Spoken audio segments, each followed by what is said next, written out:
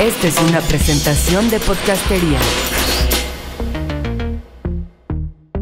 Hola a todos, bienvenidos a Disruptivo, el podcast de emprendimiento social, innovación y startups aquí en Podcastería. Yo soy Juan del Cerro y el día de hoy estamos en la edición número 98 en la que vamos a platicar con un startup que está decidido a transformar el mercado inmobiliario en México. Ellos son Tu Cantón. Ya estamos platicando con ellos, también nos acompaña aquí en cabina Marce Cetina. Pero antes de pasar a la conversación, quiero platicarles que nos acercamos al episodio número 100 de Disruptivo, en el cual queremos cambiar la dirección de los micrófonos y que queremos que sean ustedes los que hablan y los que hagan el programa Disruptivo. Si ustedes tienen una pregunta que quisieran hacer sobre emprendimiento, innovación, negocios, algún comentario si nos quisieran compartir para qué les ha servido Disruptivo, mándenos por correo a juan.disruptivo.tv o por Facebook, Twitter, el medio que ustedes decidan, una nota de voz que pueden grabar con su celular o en su computadora de manera muy sencilla en la que nos compartan estos, pues estos, estos comentarios o estas dudas o estas preguntas que quisieran que salieran en el episodio número 100 de Disruptivo. Ahora sí vamos a empezar, no sin antes recordarles que nos pueden seguir en redes sociales, estamos como arroba Disruptivo TV en Twitter y Facebook y obviamente también pueden seguir a Podcastería en arroba podcastería en las mismas redes. Bueno, y ahora sí, bueno, yo me llamo Juan del Cerro, por cierto. Bienvenidos a esta edición de Disruptivo y me acompaña aquí en cabina Marce Cetina. ¿Cómo estás, Marce? Muy bien, Juan, muy contenta de estar aquí contigo en otro programa más de Disruptivo. Marce, cuéntanos un poquito acerca de los invitados de hoy. Ellos son tu cantón, cuéntanos un poquito qué hacen. Digo, y obviamente ya les vamos a preguntar a ellos, pero ¿por qué no le das tú la bienvenida? Pues tu cantón, a mí me parece algo eh, muy interesante, el tema de, de inmobiliarias en México, pues desde hace ya algunos años ha tenido bastante fuerza. El, problema es de repente que se vuelve la mamá que no tiene nada que hacer, entonces empieza a, vender casas y te, cuando, cuando, cuando te das cuenta lo que está haciendo tu cantón, pues resulta bastante interesante la forma en la que le cambiaron la dinámica a poder obtener una propiedad, a poder vender una casa y me encantaría que, que nuestros invitados se presentaran y nos platicaran más sobre tu cantón. Buenísimo, Marce. Pues le damos la bienvenida a Juan José Lórzano y Alejandro Payés, que son los fundadores de tu cantón. Bienvenidos. Gracias. Muchas gracias, Juan. Qué gusto estar aquí con ustedes. Muchas gracias, Juan y Marce. Mucho gusto por tenernos aquí en el programa. Estimados, Cuéntenos, ya Marce nos daba un poquito una introducción, nos está, contando que ustedes están tratando de revolucionar este mercado y es justamente lo que queremos conocer aquí en Disruptivo. Empresas, startups, emprendimientos que están tratando de hacer una forma, negocios de una forma distinta. Cuéntanos exactamente qué es lo que están proponiendo ustedes desde tu cantón. Bueno, básicamente si se fijan en el mercado de vivienda, es un mercado que no ha cambiado en los últimos 100 o más años. Para comprar una casa, una vivienda, tú ves anuncios en la calle, ves espectaculares, ves pósters en los postes de luz, te dan flyers, pero no es, una, no es un mercado que ha evolucionado. Y nosotros lo que queremos hacer es evolucionarlo y el cambio más importante, queremos que sea un mercado enfocado en el cliente, en el bien del cliente y es algo que no está pasando. Si tú quieres comprar una, un reloj, una televisión, te puedes meter en internet, puedes ser comparativos, te puedes educar y puedes tomar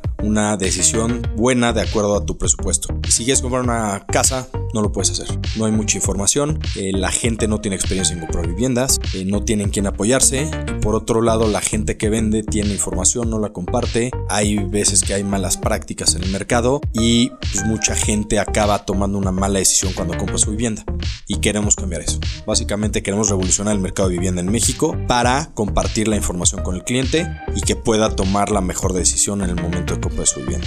Alejandro, cuéntanos cómo funciona todo esto, cómo funciona tu cantón. Yo soy un cliente, quiero vender o quiero comprar. ¿Y qué, qué, qué me ofrece tu cantón? Perfecto. Lo primero que te ofrecemos, ya sea que quieres comprar o vender, es estar en un mercado en línea. Por, lo general hay muy pocos, eh, sobre todo en el área inmobiliaria, que están proactivamente en línea. Entonces, si tú quieres como cliente ir a ver una propiedad o estás interesado, creo que la manera más fácil al día de hoy es agarrar el coche, buscar en la zona que quieres y ves el anuncio y le hablas y ves qué va pasando. Nosotros te evitamos todo eso y te hacemos que sea una experiencia padre como lo debe ser comprar una casa, ¿no? Debe ser una experiencia padrísima para las personas que la compran. Entonces, nosotros lo que hacemos es nos contactas por internet. Una vez que nos contactas, nosotros te asignamos a un especialista inmobiliario, el cual te habla por teléfono y empieza a ver cuál es tu perfil para poder ofrecerte tu mejor opción. O sea, te preocupa un poco cómo vas a comprar la casa, qué tipo de crédito vas a usar, etcétera, etcétera, dónde estás viviendo, para realmente decir, bueno, dado tus características, tu mejor opción están en esta zona y te mandamos las opciones por internet. Una vez que las recibes, ya tienes todo, todo lo que tienes que conocer de, la vivienda de manera digital y puedes decir, oye, de las cinco opciones que me mandaste, me interesa conocer la 1 y la 3. O sea, en vez de perder dos días buscando dónde encontrar, etcétera, y luego visitar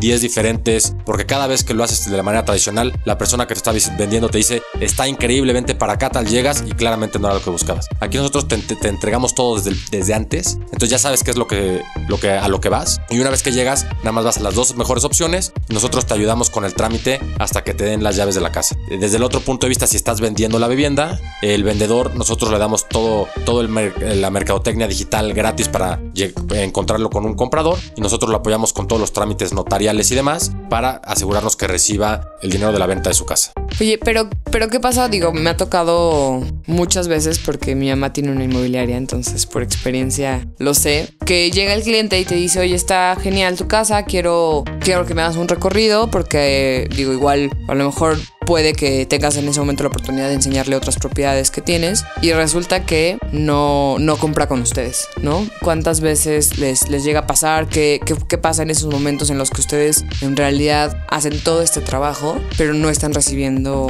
pues algo más del cliente, ¿no? Más que ustedes dieron toda la información y todo el trabajo. Sí, mira, un poco, y, creo que va a pasar y pasa en todos los, los, sectores, ¿no? No cada persona que entra a una tienda compra, pero lo que sí es clarísimo es, si no compra y le das un buen servicio, te recomienda a tres o cuatro personas y poco a poco empieza a crecer tu cartera y eventualmente compra a alguien que hace que todo valga, ¿no? Lo que nosotros queremos y creo que nuestro principal objetivo es atender perfecto a todos nuestros clientes para que compren su mejor decisión. Si nosotros vemos que un cliente y no tenemos una opción real o buena para ellos en nuestra cartera, lo primero que le decimos es, oye, a lo mejor a ti te conviene seguir rentando por lo que tienes o no tenemos algo que, que cumpla con tus características. Creemos que lo más importante es que en la compra de tu casa sea una buena decisión. ¿Por qué? Porque es algo que vas a estar pagando 20 a 30 años y no queremos que pase como la problemática que tiene ahorita México con las 120 mil o 130 mil viviendas abandonadas de cada año por hacer una mala compra y después que digan, no, pues el que me atendió fue tu cantón y compré mal, entonces estoy haciendo algo que no me, to me tocaba, ¿no? Preferimos este, atender a todos 100% bien y los que se queden con nosotros, que les ofrezcamos la mejor opción y los que no, que los hayamos atendido también, aunque compren otro lado, para que nos recomienden con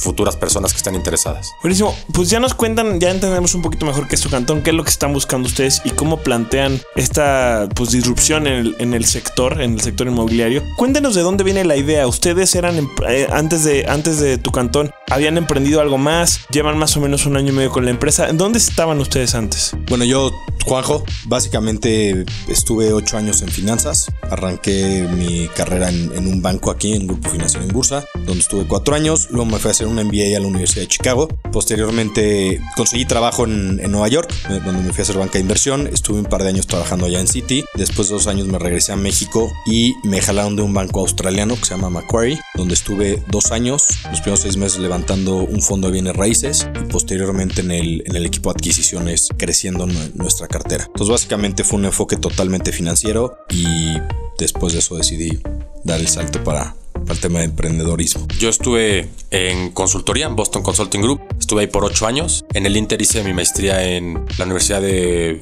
de Pensilvania en Wharton y un poco eh, me salí de ahí para empezar tu cantón con la idea de realmente todo lo que había aprendido y todo lo que había recomendado, por así decirlo, tratar de ponerlo a prueba en un mercado que nos llama la atención porque es un mercado que no ha cambiado en los últimos, como mencionaba Juanjo antes, en los últimos 50, 100 años, donde realmente está del lado del, del vendedor toda la información y poca del comprador y es uno de los mercados que dijimos hay muchísimo valor si lo cambiamos. Valor en cuanto a que la gente no abandone su casa, en que hagan una mejor decisión de compra y adicionalmente pues, el valor de nosotros ser los primeros en cambiar ese mercado, ¿no? Nos llama mucho la atención el poder hacerlo de esa manera, sobre todo viendo que nadie se había metido a la parte digital de, la venta de las casas. Entonces esa combinación fue la que nos llamó la atención para empezar en el mercado y decir, vamos a tratar de cambiar cómo la gente compra casas en México. Yo quiero preguntarles porque, bueno, yo a diferencia de, no sé, muchas otras cosas, muchas otras este, interacciones que hacemos en línea, ¿no? De comercio electrónico, como comprar un boleto de avión o comprar un par de zapatos o, una canción, no sé, pues comprar o vender una casa, pues sí tiene, digamos, un grado de, un grado de complejidad mucho mayor. Me encantaría saber qué retos se han enfrentado ustedes de esta parte, ¿no? Con los clientes, pero antes de platicar, antes de platicar de esto, vamos a ir rápido a un corte porque tenemos una palabra de nuestros patrocinadores. Nosotros seguimos aquí en Disruptivo en Podcastería.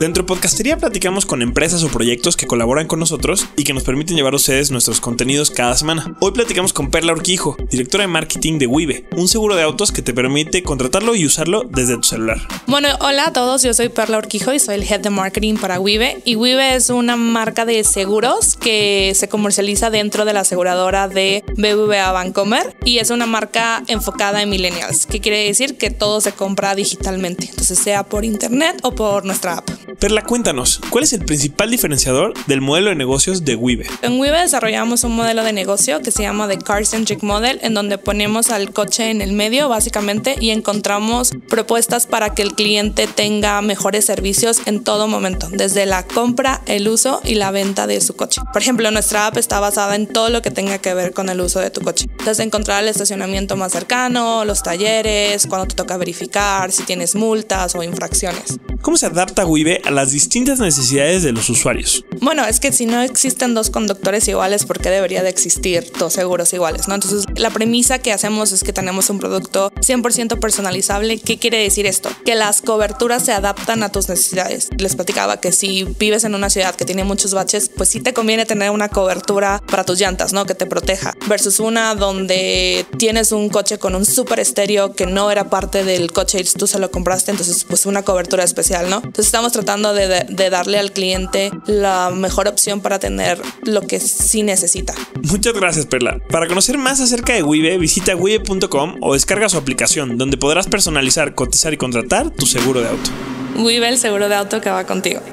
you Regresamos aquí a la cabina de Disruptivo, estamos con Juanjo y Alejandro, los fundadores de Tu Cantón, y justo antes de este corte estaba, bueno, yo quería, tenía las ganas de preguntarles cuáles han sido los retos de enfrentarse pues a transacciones así complejas como puede ser la compra o una venta de, la casa y qué tipo de recepción han tenido ustedes de parte de los clientes. Quizá tengan algún par de experiencias que nos pudieran compartir de gente o, o igual y yo estoy suponiendo algo equivocado, ¿no? Igual a la gente se le ha hecho muy fácil usar su plataforma y demás. Cuéntenos un poquito cómo ha sido esto, cómo ha sido enfrentarse al mercado. Creo que lo primero que hemos visto es la hay una necesidad. Muchísima gente se mete a nuestra a nuestro portal, muchos dejan sus datos para que los apoyemos. Ahorita en promedio entre 10 mil y 15 mil personas dejan sus datos mensualmente para que los apoyemos a comprar una casa. Y creo que el, el principal reto es educarlos en cómo funciona el mercado. A esto me refiero a que en México, como la mayoría de nuestros clientes nunca han comprado una casa, piensan que el dinero que tienen ya sea en el Infonavit, Fobiste o donde sea, es suficiente para comprar la casa que quieran. ¿Qué quiere decir? Que a lo mejor si trabajan en la zona más cara de México, pues quieren vivir ahí al lado. Y tienen un presupuesto muy limitado. Entonces el problema mayor que tenemos es el tratar de educarlos de cómo funciona, cuáles son las zonas que están creciendo, cuáles a pesar de hacer a lo mejor una hora, hora y media tu trabajo, te conviene por la seguridad de comprar una casa, el ahorro que representa y la plusvalía de la zona, ¿no? Todas estas cosas, el educar a las personas nos ha costado un poco de, de trabajo porque están más acostumbrados a comprar un poco de la calle y lo que ven ahí. Y la otra parte que también nos ha costado un poco de trabajo, o nos costó al principio, es un poco en cuando no teníamos marca, cuando todavía no teníamos un nombre poco menos conocido de aquí al día de hoy, eh, los clientes muchas veces no, no, confiaban en nosotros, ¿no? Oye, voy a firmar aquí, ya con esto ya pues, estoy seguro de obtener mi casa y me la van a dar en cuatro meses, ¿cómo es eso? O sea, no necesariamente teníamos ese, esa confianza de, de los consumidores, ¿no? Cada vez mientras vendemos más casas, ahorita ya hemos vendido arriba de mil casas, pues ya tenemos casos de éxito, ya le podemos decir a los clientes, sobre todo porque muchos estaban acostumbrados a las malas prácticas que practicaba, que platicaba Juan José. Un ejemplo este, que voy a poner, ¿no? Llegó un cliente con nosotros y nos dice, oye, me encantaría comprar una casa en el desarrollo X. Sin embargo, la última vez el asesor me pidió 15 mil pesos, ya era para la, última etapa para que me dieran mi casa y desapareció y no he sabido nada más de él. Y son personas que a lo mejor ganarán entre 6 y 8 mil pesos. Entonces 15 mil representaban de 2 a 3 meses de, sueldo. Entonces esa confianza de decir, oye, todos los desarrolladores son iguales, todos los vendedores de casas son iguales, eso es donde, donde tenemos que empezamos a, a cambiar el mercado y dado que nadie lo, lo, hacía antes, fue lo que nos costó un poco de trabajo. Creo que es de, de, las, más, de las cosas que más hemos luchado en contra para, para crecer. Me voy, a, me voy a regresar un poquito porque justo pasamos de, de conocer lo que estaban haciendo a ya hablar de, de, cómo los percibe el cliente o el usuario de, de tu cantón. Me encantaría saber cómo fue el proceso de cuando empezó tu cantón como una idea al día de hoy. ¿Qué pasó en ese año y medio, casi dos años que lleva tu cantón? ¿Cómo fue que empezaron y ahora, bueno, yo he ido a sus oficinas y tienen por lo menos, no sé, como 30 personas trabajando ahí, ¿no? Si no es que más, a lo mejor. Bueno, te, te cuento un poco, Marce. De hecho, antes de lanzar, hasta hicimos una prueba piloto para ver si era una buena idea, bien recibida en el mercado, tanto por los desarrolladores, que son como nuestros proveedores, como del lado de los clientes. Si había interés, si la gente se metía a internet, te dejaba sus datos con la idea de comprar una vivienda. Comprobamos eso, posteriormente levantamos capital de inversionistas, arrancamos con el negocio, como bien dices, hace poquito más de año y medio, éramos cinco personas en ese entonces, y la verdad, uno de los retos más grandes que hemos tenido internamente es conseguir gente buena, gente buena y que esté dispuesta a trabajar duro y a, y a salir adelante. Creo que es bien difícil el tema del capital humano y ha sido uno de los retos que, que más eh, no- nos ha costado trabajo. Sin embargo, ya hemos avanzado bastante. Ese primer mes que arrancamos vendimos seis casas. Eh, ahorita ya somos un equipo de más o menos 55-60 personas y estamos vendiendo arriba de 120 casas al, al mes. Entonces hemos crecido mucho, la aceptación ha sido buena. Creo que hoy en día, un poco complementando lo que decía Alejandro hace un rato, se propaga todo lo bueno y lo malo en las redes sociales. Y creo que ese reto que teníamos al principio de, oye, comprar una casa por internet, hablando con alguien que no conozco, aparte les pides muchos datos personales, ¿no? Nombre, dónde trabaja, cuánto gana, etcétera. Y pues se meten a las redes sociales a checar quién es tu cartón. Entonces de Yahoo Answers eh, hasta Facebook empiezan a ver que los comentarios son buenos y desde ahí la gente empieza a confiar en ti. Ya después que van a la oficina, cuando van a firmar o que los acompañas un desarrollo y van en transporte de la empresa y va la gente pues, y los atiende bien, se dan cuenta que ya es un, un servicio serio y una empresa que, que realmente estamos haciendo lo, lo que decimos. Estimados, en cada, digamos, cada emprendedor que viene acá Disruptivo y nos cuenta su historia, tratamos de encontrar un punto en el que podamos profundizar, que quizá tanto no nos- que quizá ya no, no, no es tanto hablar de la empresa y de lo que hace como tal, sino de un tema específico. Y ustedes mencionaron dos ahorita. Uno, eh, bueno, sabemos que, que levantaron una ronda de inversión cuando estaban empezando con un capital importante. Y justamente yo les quería platicar, les quería preguntar de eso, porque sé que afuera hay muchos emprendedores que están buscando capital, que están buscando financiarse. Sin embargo, ahorita en lo que me acabas de, de lo que nos acabas de platicar, Juanjo, contaste un tema del que creo nunca hemos hablado aquí y de la importancia de estas primeras contrataciones y la importancia del capital humano. Porque ya hemos hablado de la importancia de tener un co-founder con quien puedas trabajar bien y que sea miembro de tu equipo. Pero ya cuando, más allá de eso, más allá de ese co-founder, de, las contrataciones, ¿no? Del, del personal, del capital humano, de las personas que van a trabajar en tu empresa, este creo que es un tema en el que nunca hemos profundizado. Normalmente eh, los emprendedores que vienen creo que están en etapas en las que todavía no han empezado a contratar a tantas personas. Sí que me gustaría profundizar en eso. Una de las cosas, o como les como me gustaría plantearles la, la pregunta es, ¿en qué se tiene que fijar un emprendedor? O, o cuáles son como los temas principales que tiene que tener en cuenta un emprendedor cuando empieza a contratar a sus primeros empleados? Híjole, qué buena pregunta y muy difícil. Porque creo que es muy variable, dependiendo para qué estés contratando. ¿no? Yo creo que el- la idea general que tiene alguien es un startup. Normalmente ahorita hay muchos tecnológicos y son equipos chicos de gente que está dispuesta a trabajar hasta las 12, 1, 2, 3, 4 de la mañana, fines de semana. Y nuestro modelo es un poco diferente. ¿no? Nosotros estamos, es- son horarios muy intensos, trabajamos fines de semana porque es cuando la gente puede ir a ver las viviendas. Pero creo que lo primero que tienes que hacer es definir el perfil de gente que necesitas. Y una parte muy muy importante es subir a gente a tu equipo que se sienta parte importante de lo que estás logrando y que vean que están teniendo un impacto. Por ejemplo, entregarle a alguien su vivienda y que se suelte a llorar de la emoción es una experiencia que pues si no la vives no, no la podré describir. Entonces cuando la gente vi- vive eso y ve esos momentos y ve que su trabajo está teniendo un impacto, ayuda muchísimo. Pero yendo un paso para atrás, uno, definir el perfil. ¿Qué tipo de perfil necesitas? Nosotros, nuestro fuerte es el equipo de ventas. ¿no? De los 60 que, decíamos, que, que que éramos, más de 40 son especialistas o de la parte de- del equipo de ventas. Entonces un poco lo, que hemos hecho es desarrollar un área de recursos humanos muy estratégica en la cual desde el proceso de entrevista lo estamos homologando para que todos entrevisten igual, que no influya si estás de buenas o de malas para entrevistar a alguien, sino que realmente tú evalúes de una manera muy, muy igual, muy equilibrada a todos los candidatos. Dos, no esperamos a que la gente nos llegue. Recibimos currículums y los invitamos a entrevista, pero aparte salimos a buscar a gente. Nosotros activamente entramos a las bolsas de trabajo de los diferentes eh, sitios de, trabajo y buscamos a candidatos que cumplen con cierto perfil que buscamos, edad, educación, experiencia previa, etcétera, y los invitamos. Y cada semana estamos invitando candidatos y cada semana, desde mayo del 2014 que arrancamos, cada semana Alejandro y yo estamos entrevistando. Entonces, sí creo que es una parte estratégica en la que si no le dedicas tiempo, dinero y esfuerzo, no vas a salir adelante si necesitas una capacidad tan grande y, y un crecimiento tan, tan importante como el que tenemos nosotros. Sí, el tema del, del, capital humano me parece, me parece un punto muy, muy delicado para el, para el éxito también de, de cualquier negocio. Me encantaría que nos platicaran cómo fue la experiencia de bajar ese, esa inversión, de convencer a los inversionistas que efectivamente ustedes iban a revolucionar la industria de los bienes raíces. ¿Cómo fue esa experiencia? Creo que fue una experiencia padre y pesada al mismo tiempo, ¿no? Sobre todo porque es un eh, toma tiempo, nos tomó alrededor de cuatro meses, eh, nos sentamos a platicar con, pues, con todos los inversionistas que conocíamos, fondos de eh, capital, de venture capital, etcétera, para realmente entender, ¿no? Y creo que cambiamos muchísimo desde el primero que fuimos al último, porque poco a poco vas viendo qué preguntas te hacen, cómo aprender a contestarlas, si hay cosas que no te habías fijado, ver más este, a detalle y contestarlas mejor. Creo que una parte importantísima que nos sirvió mucho es que ya teníamos tracción. Eh, esta prueba piloto que habíamos hecha ya nos dejaba discutir sobre números reales y no sobre si pasaría o no. Eh, por ejemplo, el, en la industria, un vendedor del sector de este, desarrolladores este,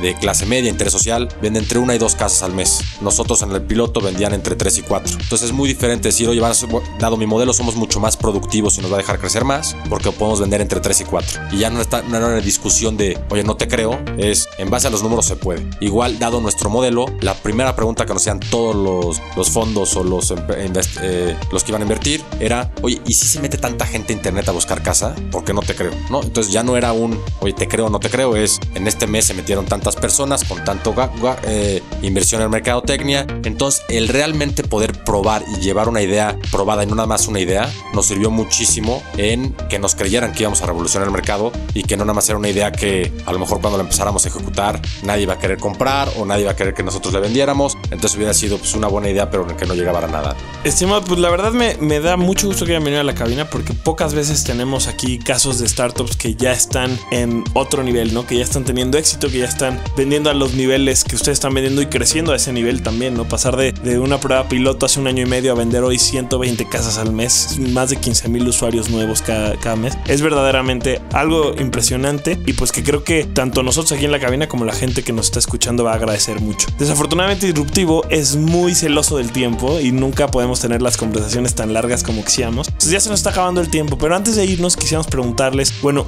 de manera muy concreta que nos cuenten hacia dónde va tu cantón, qué sigue ahora, porque han tenido mucho crecimiento, han bajado inversión, han construido un equipo eh, o están construyendo un muy buen equipo. ¿Cuáles son los siguientes pasos? Bueno, tenemos diferentes áreas de crecimiento que estamos analizando actualmente. Claramente vamos a crecer geográficamente. Ahorita estamos en el DF, área metropolitana y zona centro. Posteriormente vamos a buscar crecer probablemente a ciudades como Guadalajara, Monterrey y después tener oficinas regionales. Noreste, noroeste, en la parte del Bajío, en la parte del sureste, para pues, seguir ayudando a más gente. Adicionalmente, lanzamos una línea de negocio nueva que se llama Tu Cartera, donde damos asesoría hipotecaria. Entonces, si alguien tiene duda de cómo sacar un crédito, de cuál es el mejor crédito para su perfil, también nos puede buscar directamente a través de Tu Cantón y estamos lanzando nuestra nueva línea de negocio que se llama Tu Cartera. ¿Hacia dónde vamos? Queremos ser uno de los vendedores principales de vivienda en México y nuestro sueño realmente es ver que tengamos un impacto en el mercado, que realmente la gente que compra su vivienda no la abandona, toma una buena decisión, que compra una vivienda que le da una buena plusvalía y que al final del día es una buena compra. Si llegamos a, a ver eso y al volumen que queremos, queremos llegar a estar vendiendo más de mil viviendas al mes, yo creo que ese sería un, un gran primer paso. Muchísimas felicidades, está increíble. Por último, les queremos preguntar, y eso es algo que les preguntamos a todos los emprendedores, espero que estén preparados. ¿Qué libro, video, blog, eh, artículo le recomiendan a un emprendedor que a ustedes les haya funcionado muchísimo? Pues tiene que ver, puede, puede que tenga que ver o no con tu cantón, pero que a ustedes como emprendedores les ha funcionado bastante. Bueno, un libro que a mí me gustó mucho eh, se llama Hard Thing About Hard Things de Horowitz. Creo que realmente habla de qué es ser emprendedor. No nada más te cuenta la historia de éxito, te cuenta cuando no puedes dormir en las noches y te despiertas a la mitad porque piensas que las cosas van muy mal. Entonces creo que te da una visión muy grande de, de que no siempre es fácil y que no todo es bonito, sino que te da una buena historia real de lo que es ser emprendedor. Coincido, creo que es un, un gran libro. Adicionalmente, acabo yo de leer uno, sobre todo para el tema de recursos humanos, que se llama Work Rules, que es de la persona que lleva todo el tema de People Management en, en Google. Se llama Laszlo Bock y es un, se me hizo un gran libro de cómo hacen las cosas en Google y un enfoque totalmente diferente e innovador al tema de recursos humanos. Muchísimas gracias, estimados. Cuéntenos por último dónde podemos seguir la conversación, dónde podemos saber más sobre tu cantón, sus redes sociales, página, todo. Sí, estamos en nuestra página de internet, en tucantón.com. También nos puedes encontrar como Tu Cantón en Facebook. Eh, dentro de nuestra página tenemos un blog de tucantón.com diagonal blog, donde ponemos noticias del mercado, de cómo comprar una casa, que es importante, etcétera. Entonces, si están interesados en saber, conocer un poco más del mercado y de otras cosas de la vivienda, también ahí pueden eh, seguirnos. en Twitter, en arroba tucantón, también nos pueden seguir. Buenísimo. Pues les agradecemos mucho a Juanjo y Alejandro que hayan estado con nosotros aquí en la cabina de Disruptivo. Una conversación diferente, una conversación pues ya también de temas más de negocio, ¿no? ¿Qué pasa cuando un startup o cuando un emprendimiento pues ya está en ese punto en el que ya es más una empresa que un emprendimiento? Les agradecemos mucho que hayan estado por acá. Yo aprendí mucho, me llevo mucho y bueno, espero que la gente que nos escucha también lo haga. Marce, nosotros ya nos vamos, pero no sin antes recordándole a la gente dónde puedes saber más de nosotros, a dónde te podemos seguir a ti en Twitter.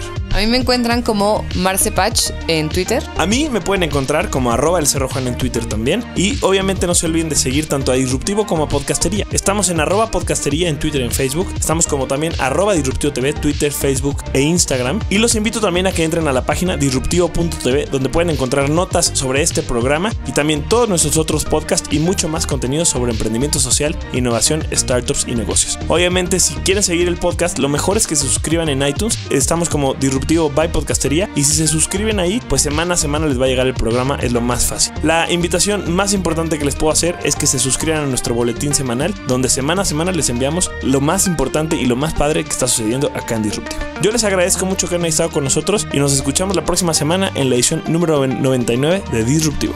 Hasta luego. Disruptivo aparece cada semana gracias a Podcastería.